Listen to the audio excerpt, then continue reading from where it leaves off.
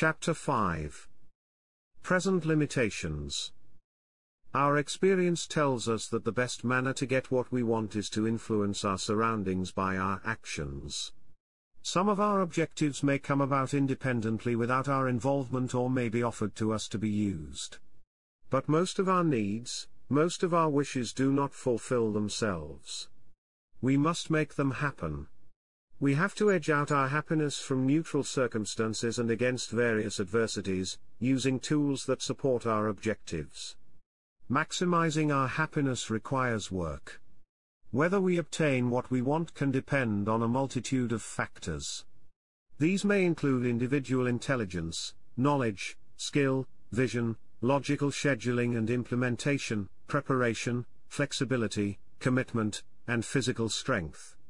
They further comprise environmental factors, such as the state of technological, economic, and social development and our access to its results and resources for our purposes. They also consist of the more correlative factors of our connections and bonds, social status, attractiveness, and abilities to influence.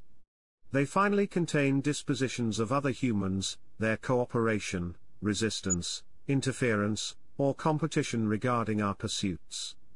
Some of these factors may not be accessible to our control, or at least not to the degree we need them to be to make our wishes come true. Still, quite a number of them seem to be in our hands or can at least be swayed or acquired. This partial malleability empowers us. It means that we can improve the effectiveness and efficiency of our efforts by improving the effectiveness and efficiency of these factors. To accomplish this, we have to consider the requirements of our needs, the approaches for their fulfillment, and the consequences of our actions. If we implement our insights with circumspection, we should be able to increase the success of our pursuits. Improving happiness may then appear largely as a matter of acquiring knowledge and its careful application to the other resources we have available. This conclusion seems obvious. We spend a considerable number of years in upbringing, education, and training to develop instruments and strategies for the pursuit of our happiness. With sufficient dedication and preparation, we should go far. Yet we might wonder how far these attributes can take us. What should be our expectation? We might be subjected to powerful encouragements assuring us that we can control our fortune. Apply yourself to your ambitions and you will succeed. Where there is a will there is a way. You can do anything if you put your mind to it. This is what we are told. If this is posited as the promise of our existence, it forms the standard by which we measure our success. For most of us, the practical application of this principle is not working to our full satisfaction. Eventually, we find the promise broken that we can get whatever we want if we give it enough effort. We may find ourselves at a distance from our ideal of happiness. We may be satisfied with one or another aspect of our existence. Nonetheless, a discrepancy between our state of affairs and having all of our wishes become reality may remain. Regardless of how circumspect and dedicated we may be, some and often considerable room continues to separate our situation and what we consider to be ideal happiness. There are always aspects of our existence that leave something to be desired. We cannot always get what we want, no matter how much we might try. Sometimes, it even appears that the harder we push, the more we insist, the less we obtain what we want. We run into resistance, experience limitations, fall behind, and we fail. These deficiencies keep us occupied asking ourselves why they occur. We may consider the possibility and admit that the encouragements for perfection we received were exaggerations. But we may still desire to identify why we did not succeed. We may investigate our failures or inabilities and try to find the causes that slow us down, block our rise, or make us slip up. In that investigation, we tend to divide the possible causes into those that lie with us and those that are attributable to external factors. We seek fault either in us or in our surroundings. If we find fault in us, we may take responsibility. We may admit our error, inadequacy, or failure to rise to the challenge. We may concede that we could not formerly and perhaps cannot now deal with certain circumstances.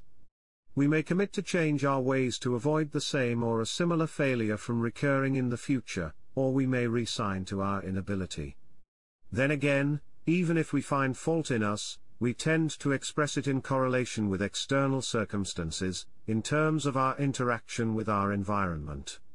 This expression is facilitated by the prevalent lack of a clear distinction between internal and external causes. Our inabilities and failures usually accrue as a result of our relation with the outside world, as do our successes. We and the outside world seem to be prerequisite components for the pursuit and creation of most of our happiness.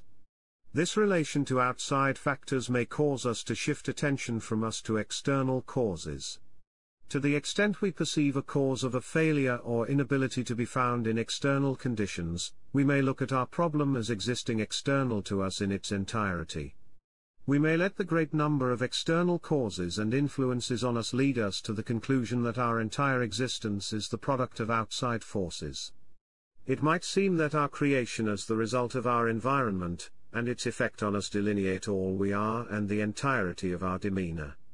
In completion of this reasoning, all our failures and inabilities would be the product of external forces as well. We may sense that such a sweeping conclusion may not be correct we experience that we can use or influence outside forces and their effect on us, that they can be blocked, attenuated, overcome, or turned in our favor. We also experience that where that is not possible, it may be possible to modify our position in relation to such unchangeable outside forces. If we want to make our mark, if we want to achieve our objectives, we will have to work with outside forces. If we cannot use them as they are or if they interfere in our pursuits, we will have to change, obstruct, or destroy them or arrange ourselves relative to them. Our demeanor toward outside forces greatly determines our happiness. Although we appear to be largely a product of external factors, we might often be able to shape or select their influences and thus take at least partial charge of our fate. Nevertheless, we may continue to ascribe great power to external forces that interact with us. Even if we perceive that we can influence our environment, we may continue to perceive us and our actions to be influenced if not controlled by external forces. In spite of our best efforts, we remain broadly exposed and subjected to the nature and behavior of outside forces. Even if we apply everything in our power to control them or to position ourselves in reference to them, we might not succeed in dominating or evading them. External forces continue to have great influence over our happiness that is independent of our endeavors. We may therefore contend that they are in great part responsible for our fate. Following such thoughts may lead us to become hostile against our environment or to reject responsibility and resign our fate. We may accept less than ideal conditions, accommodate pain, and not pursue our happiness to its greatest possible extent.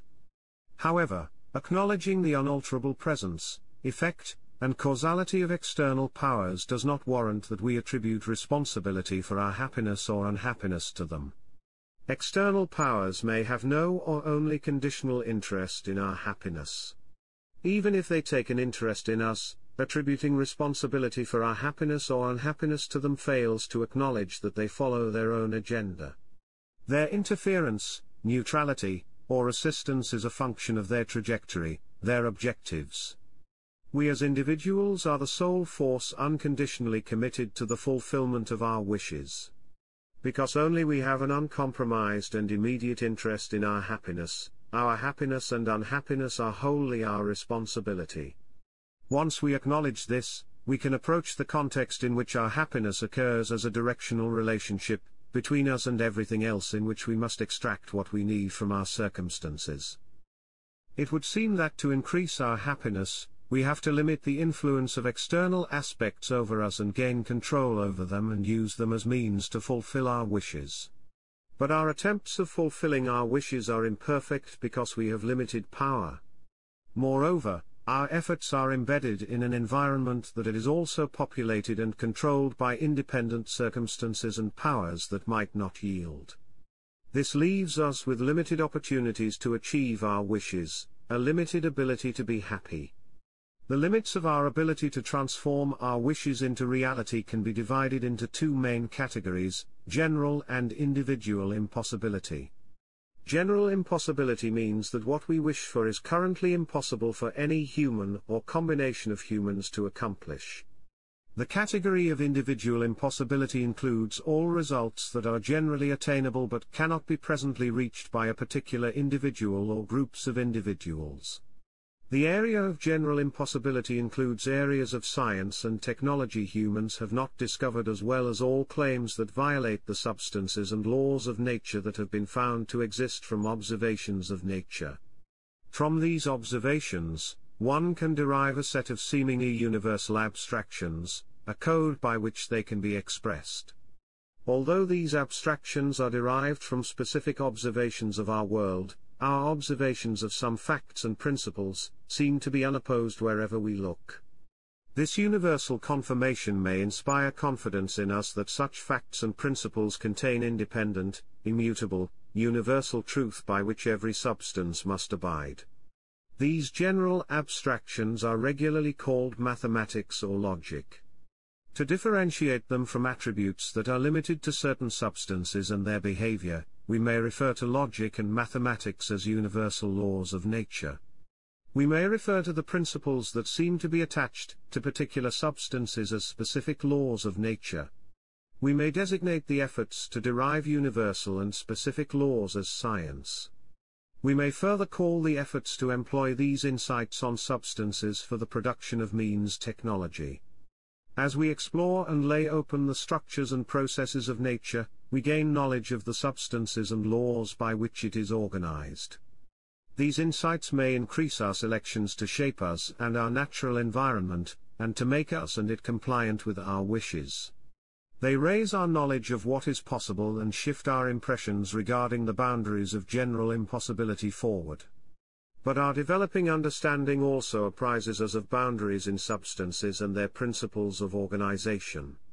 The ordered character of the world we discover constrains us to proceed within and by its rules. The absolute nature of such limitations warrants calling them boundaries of absolute impossibility. Boundaries of absolute impossibility may describe limits of specific laws and intrinsic logic that cannot be surmounted regardless of our efforts. But judgments about absolute impossibility are frequently unreliable. Like all other impressions of impossibility, they may refer to a current objective or subjective inability to accomplish a task that might be resolved by sequences building toward that task. There may be unexplored potentials that we might be able to uncover as our understanding develops, thus allowing us to dissolve concepts of impossibility. Our impressions of impossibility may derive from instinctive dispositions but primarily arise from our experiences. Scientific methods seek to exclude error from the conclusions we draw.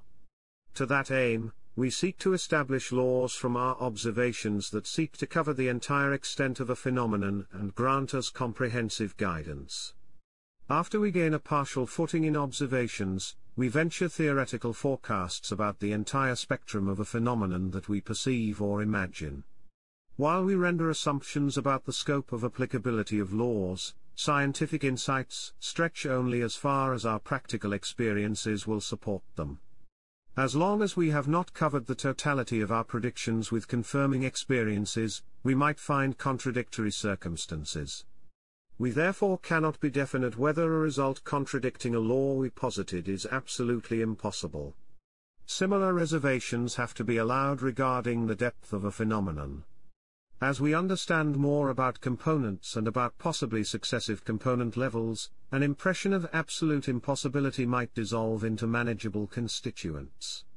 Hence, we cannot exclude that our concepts of absolute impossibility will change as our practical capabilities reveal more of the workings of nature.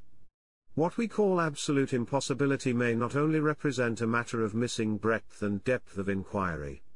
Humans may also lack the capacity to detect some of the circumstances of nature or to comprehend the substances or principles they imply or even their unordered nature we may face a general impossibility that is based on human limitations in the processing of information rather than absolute impossibility.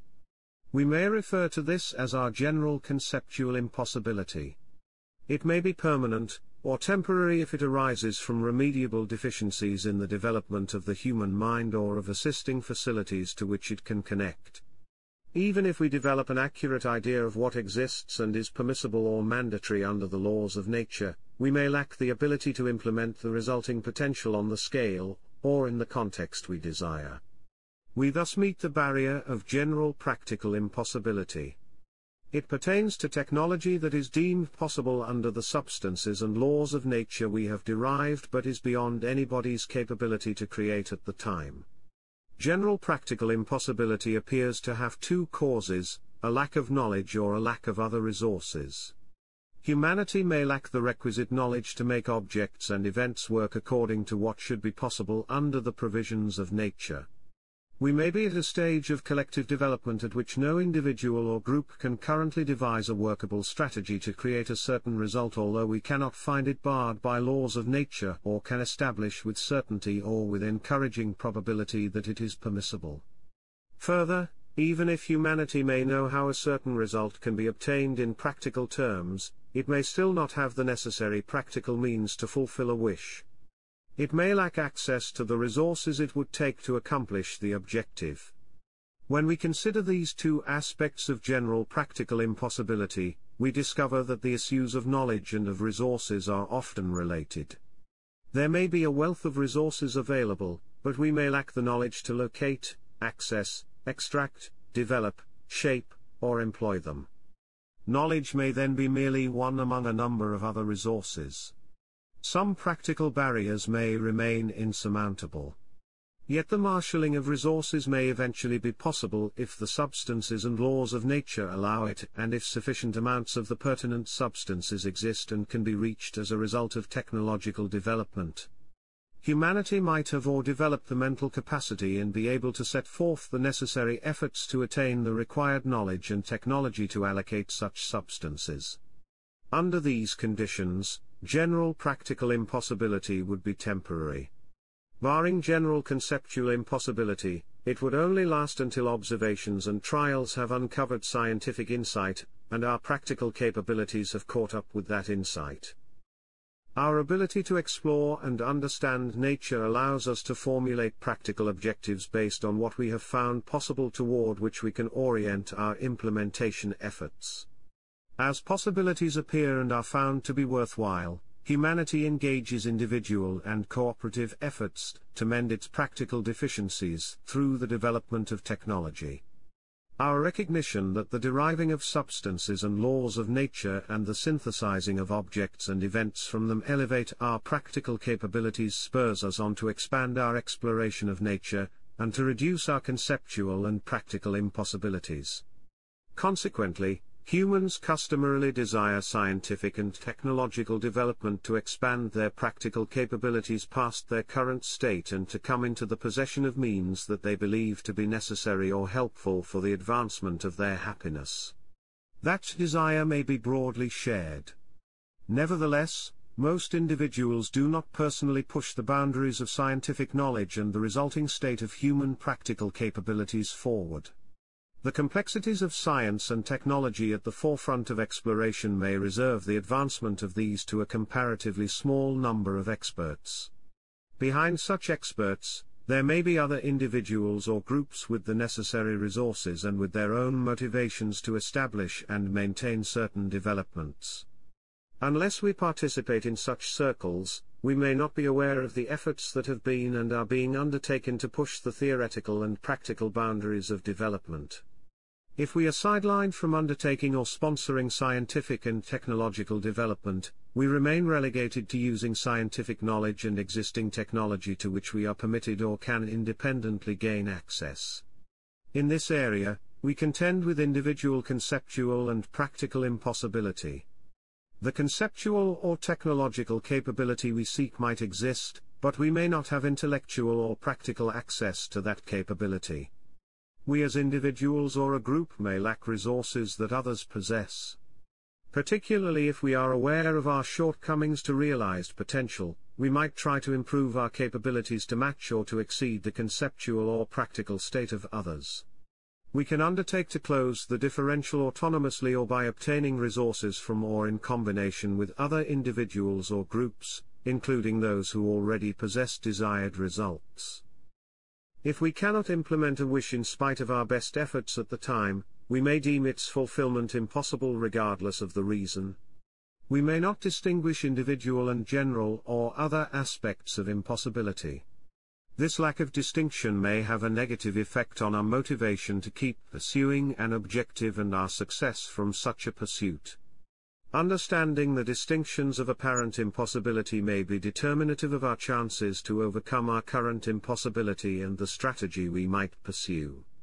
If we recognize that a deficiency of means is attributable to individual impossibility, Reaching such means moves within a more likely field of possibilities because it excludes absolute impossibility. Further, if the result we desire has already been accomplished by others, it becomes more likely that we might develop such a result or acquire it. Although our chances might be remote, the achievement by others of what we hope to accomplish indicates that we might succeed as well. To estimate our chances of success, we may explore by comparison whether our obstacles are of a practical nature or arise from a lack of our autonomous or assisted capacity to process information. We can then concentrate on compensating our deficiencies. If a result should be generally unavailable, an alternate approach may be needed. The non-existence of what we seek may give us pause. It may mean that nobody has tried what we endeavor to achieve, that all others failed, or that they found the result to be unattractive. Examining their thoughts and efforts might be instructive. Beyond that, risks, costs, and benefits are usually less calculable in undertakings to overcome general impossibility. To obtain a maximum of information about these aspects, it might be helpful to understand whether we are confronted with a matter of general practical, conceptual, or perceived absolute impossibility. Overcoming a perceived absolute impossibility appears to carry the highest risk of failure and may involve the greatest effort because it controverts our collective experience. Surmounting general conceptual impossibility might challenge us similarly. Forays to overcome absolute and general conceptual impossibility might present problems whose solution attempts exceed what one or a few more individuals can or are prepared to bear. In addressing a general exploratory or implementation problem, the adversities may be more definable. Yet even solving such a problem may involve risks and investments of resources we might not be willing or able to carry alone. Arguably, the fact that nobody has succeeded in overcoming obstacles of general impossibility does not necessarily mean that they could not be overcome other than by a collective effort. Still, even if individuals advance to obliterate general impossibilities, they may have to rely on cooperatively obtained means or find such reliance helpful. Moreover, it seems likely that efforts to overcome individual impossibility could benefit from cooperation by others who wish to overcome their individual impossibilities as well or from assistance by individuals who already have accomplished the goals to which others aspire. Accordingly, Cooperation seems to offer itself as a possible universal facilitator. Not all individual impossibilities that we encounter are so fungible that they permit fulfillment by acquiring processing or practical capabilities from other sources. There seem to be individual impossibilities that we ourselves must defeat to obtain fulfillment. Even if the objectives of needs can be fulfilled entirely by exterior sources or by us with their help, our happiness might be disturbed because we did not provide that fulfillment ourselves. In these cases, not only the result's particular attributes enable us to achieve are important for our happiness. We additionally value our possession of the enabling attributes, the capacities they convey to us, and enjoy the exercise of these capacities. This non-fungibility burdens our pursuits because the attainment of attributes we seek may be relatively difficult for us and at times impossible. The impossibility to be satisfied unless we generate means is different from the other types of impossibility that are concerned with practicalities. We may call it personal impossibility. It can cause grave consequences because much of the satisfaction we gain from the fulfillment of our wishes is produced by achieving objectives, through our personal attributes. A lack of certain personal attributes may not curb our wishes to possess them. It may strengthen our desire. If we cannot close the discrepancy between these wishes and our reality, we may have no other choice than to obtain assistance to prevent larger losses. But the non-transferable character of personal attributes and their application may prevent us from finding adequate satisfaction of an array of needs ranging from needs that pertain to social correlations to needs for self-determination, privacy, expression, self-realization, and self-respect. These wide-ranging deficiencies threaten to fill our existence with mounting frustration of these needs and resulting pain. Possibly, technology could create or help us create certain personal attributes. This might involve non-biological as well as biological conditioning or supplementation of our mind and tangible aspects of our body. Such artifices might not satisfy us because they may remain foreign even if we personally create them. We would always know that such attributes are not genuinely ours but that they were added to us. We may not be able to accept them as our own. Yet, even if changes or supplements to dispositions of which individuals are already mindful should not be accepted, their infusion from the beginning of individuals' awareness would likely prevent their rejection as foreign. Even if individuals were aware of their conditioning, they might not be burdened by results of external assistance because they would know engineered characteristics only as attributes that have always been with them. They might be missing additional attributes whose introduction might burden them with suffering similar tribulations regarding their authenticity as previous generations that were confronted with novel attributes. However, with their already existing acceptance of technological alterations to furnish attributes that can enhance their potential for the pursuit of needs, issues of personal impossibility might be greatly diminished, or entirely fade away. Humans may grow to incorporate technology into their concept of self. In time, technological attributes might become indistinguishable to their carriers from natural attributes and their development. That would seem particularly likely if they could be seamlessly incorporated into direct impressions of an individual's self. Beyond such developments, they might also become accepted because individuals might not want to be left behind in the development that added features empower. Enhancements regarding common needs may encourage them to condone them in idiosyncratic areas as well. With the development of enhancing technologies, issues of personal impossibility might be disappearing to where humans may overcome all personal impossibilities at least relative to one another.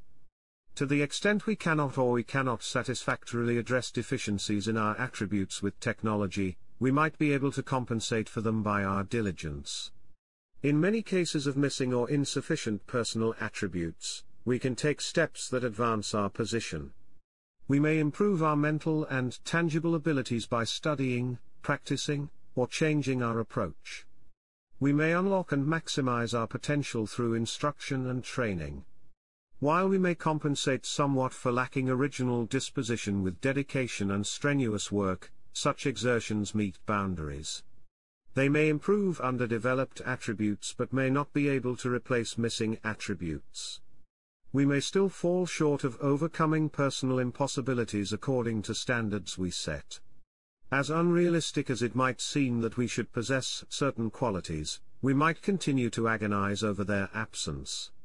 Depending on our wishes and the gravity of our shortcomings, personal impossibilities may continue to pose considerable problems for our happiness. Barring a fundamental change of our mental or our tangible capabilities, this problem may seem impossible to resolve. But cooperation might provide an avenue to resolve or at least relieve concerns about personal impossibilities. Many of our needs inherently necessitate cooperation from others to provide unique means that we cannot generate. To bring about such a cooperation, we may have to engage our personal attributes in return. As long as we possess valuable attributes that we can offer, we may naturally accept the reciprocal application of other individuals' attributes. This may become progressively familiar for us as our cooperation expands to needs that we could pursue and satisfy ourselves. We may adopt a general mode in which we maximize the effectiveness and efficiency of our pursuits by exchanging efforts or their products or contributing them to shared results. This may permit us to more comprehensively use our personal attributes as indirect means toward our objectives because they serve the purposes of others. This use of personal assets may satisfy us sufficiently to accept assistance in areas in which we lack personal assets. Cooperating with others may let us leverage our strengths to compensate for our weaknesses. The valuation of our attributes in exchanges or joint efforts may help us to not only decrease conceptual and practical individual impossibilities but also personal impossibilities. It permits us to reduce our reservations toward accessing external attributes we wish we had because we earn desired means by application of our personal capacity. The mutuality of assistance counters the pain over our personal deficiencies with the pleasure over the benefits our personal assets provide. This may permit us to be content with the result as the best attainable solution. Rather than engaging in futile efforts or wasting resources on approximating attributes that only come to us at undue expense, we might maximize the overall effectiveness and efficiency of our pursuits by focusing on improving and using attributes we already possess. We may further diminish our pain over personal impossibilities by helping others develop talents and capabilities that we lack. Through our assistance, we become partly responsible for and can savor their success even if the attributes we advance are not our own. Our need to support the survival and thriving of other humans offers the foundation for obtaining such vicarious fulfillment. Technological, economic, and social advancement and cooperation present impressive instruments for pushing back many barriers of individual and general impossibility. Still, we and others might be left quite a distance from experiencing reliable satisfaction of all basic survival needs, let alone all of our existential needs. The progress of technology renders general material deficiencies a diminishing part of our problems. When we search for examples of detrimental circumstances in our existence, we recognize that, apart from accessing the past and overcoming death, most of our relevant wishes should not be affected by general impossibility nor does there seem to be a good reason why individuals should suffer great pain over boundaries of individual impossibility. There appear to be enough resources as well as conceptual and practical capacities to accommodate the existential concerns of all humans with the noted exceptions. Even the ability to conquer death with technological and social developments seems to be within reach. But a dearth of mental clarity encumbers humanity in realizing its developmental potential. Many individuals seem to have trouble understanding how to employ their conceptual or practical capacities or following that understanding. They may not have well rounded, mature concepts of objectives they should pursue or the manners of pursuing them. Even if they possess sufficiently developed technological skills, they may therefore procrastinate or pursue erroneous or less than optimal strategies. They may select the wrong type, strength, timing, sequence, or combination of means. They may not use their resources in the most effective ways. They may lack motivation to address matters that lie within their capabilities because of unwarranted fear or disregard. They may interact with others in ways that do not optimize their interests. They may be disinclined to cooperate, have incompatible requirements, or be unaware of the advantages of cooperation or how to organize it. Deficiencies may also result from a preclusion of access to resources and from exploitation that deprives humans of the fruits of their labor or of other possessions. Perpetrators and victims may both suffer from the struggle engendered by this abuse. Problems may further arise from the abuse of natural resources that may negatively affect individuals who did not participate or benefit as well as offenders. Such abuses may be caused or tolerated by ignorance or errors regarding one's own and other parties' needs and rights. But we also often find willful ignorance or disregard for the sake of gratifying dominant needs. We can further detect destructive acts that do not seem to follow such motivations and appear to be without purpose. Responses to actual or deemed violations of needs and rights, and replies to those, extensively add to deprivations. These factors of human irresponsibility are material causes, for individual, and general impossibility. Even if we should fare relatively well in such a setting, its strife and damage necessarily leave the level of our satisfaction short of its potential. Our needs seem to call upon us to solve our self-imposed limitations. Beyond these limitations, other boundaries are and become visible whose dissolution may be helpful or necessary to increase the fulfillment of our needs. In many aspects of our individual and collective potential, we may be only at the beginning of what we can discover or achieve. The individual and collective determination and tenacity to fight limitations of our pursuits appear to be deeply embedded characteristics of humanity. Overcoming limitations is our individual and collective preoccupation, perhaps even our obsession. We incessantly determine, and implement strategies to ameliorate our happiness.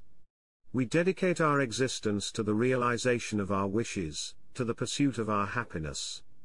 Nevertheless, our efforts might not yield the happiness we expect from such a towering investment. Although we might achieve moments and periods of happiness, some and perhaps many of our pursuits do not appear to produce the satisfaction we had expected. There may be simple explanations for such a shortfall. Besides our own errors and carelessness, we may be subject to obvious interferences and limitations that do not allow us intact pursuits or to savor such pursuits and their results. It is much more confounding when we encounter a failure of happiness where we seem to act responsibly toward us and others and suffer no recognizable encroachments. We may make adequate progress and achieve what we had set out to do. We may be reaching the objectives we thought would place us into a state of happiness.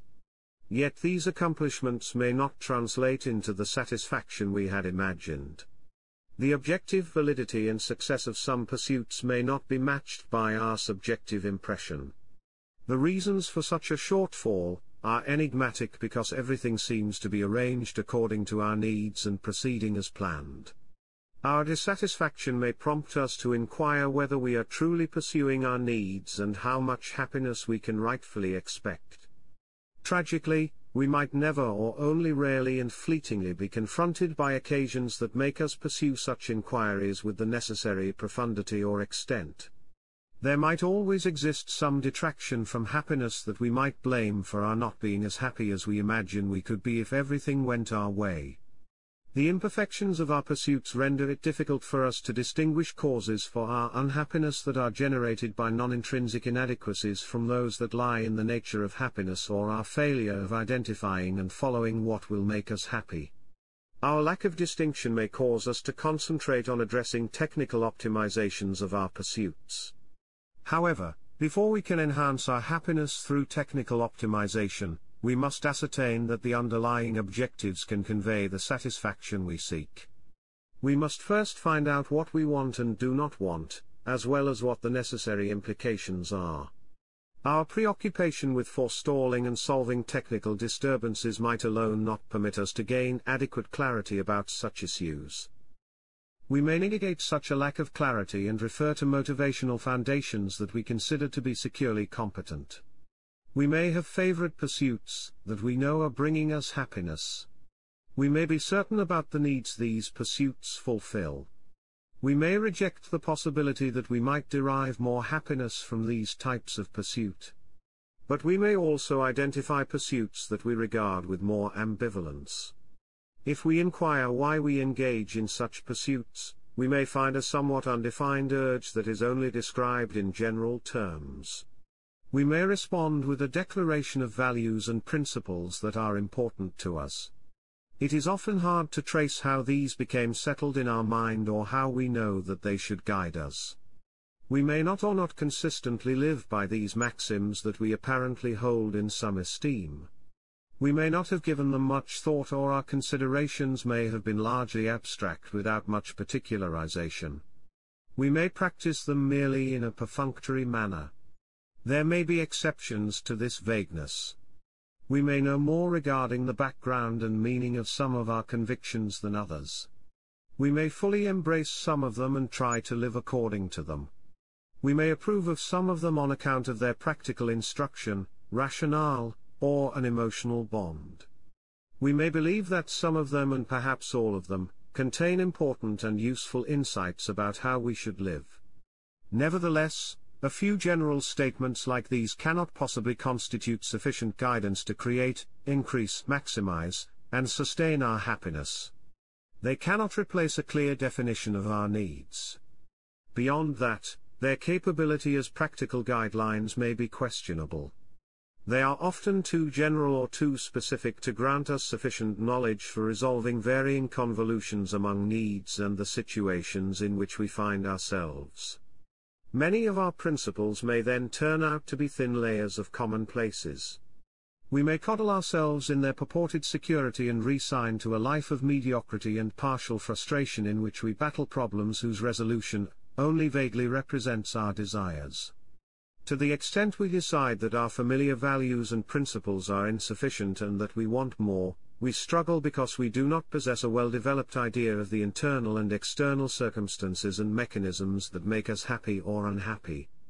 In such areas that lie beyond the refuge of guidelines we deem sufficient, we are bound to address issues of our happiness in ways that expose us to risks of damage. We are forced to consider and define our happiness in an erratic and fragmented manner.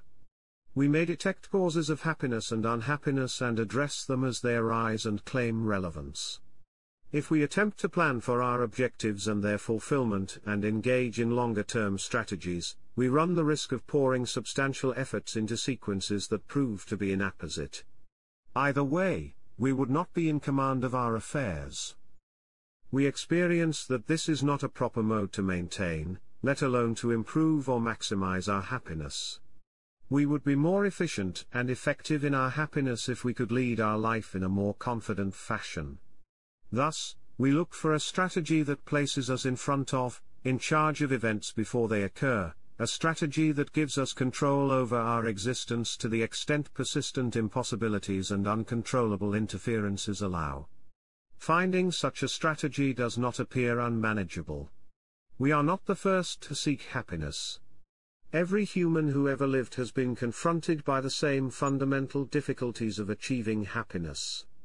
Even if personalities, circumstances, and means differ and humanity has undergone development, principal needs and principal choices pursuant to them have remained similar. There must be models from which we can learn.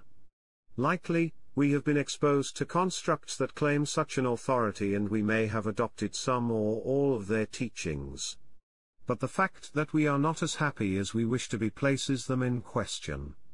Although their proponents and we might blame us and other causes for shortcomings, technical optimization only becomes an issue to the extent we can be certain that our model guides us competently and that there is no alternative that can offer better guidance. If we are to gain control over our happiness, we must be able to make that determination. A similar determination is necessary if we are not predisposed by any model. In either event, we must become able to judge whether and how models match our needs. The next section begins to explore that endeavor.